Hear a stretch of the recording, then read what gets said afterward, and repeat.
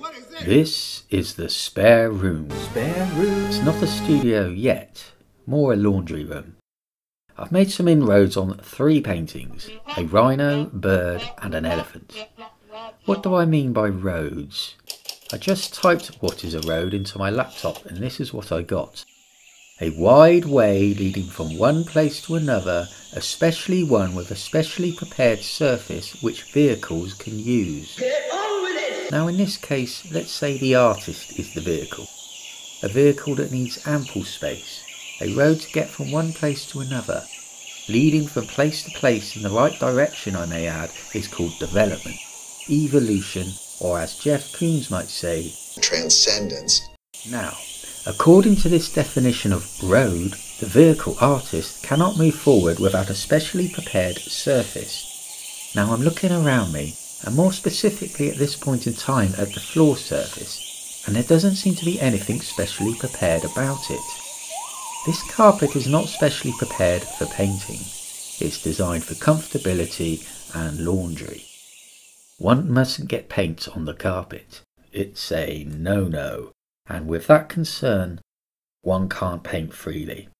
It's like a huge traffic light on red looming over forever stalled or I can't find the car keys. In fact, it's not even worth considering painting in the spare room until I specially prepare the floor surface. My previous studio, I always hark back to that, you don't know what you got till it's gone, had specially prepared surfaces for art. The possibilities were endless.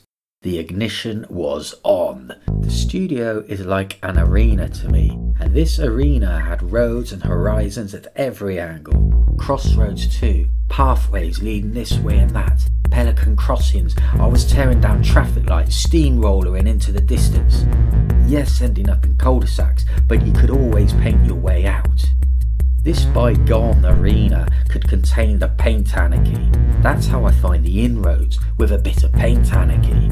Gloss and matte, spray paint, dusty chalk and charcoal, pile it on, have a battle, battle it out with the canvas. An arena is great for a battle.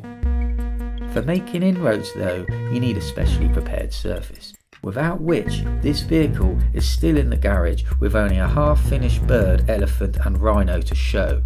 I'm going to have to start painting, stop deliberating on the finer points of specially prepared surfaces and invest in some vinyl flooring. Clear division usurps the other.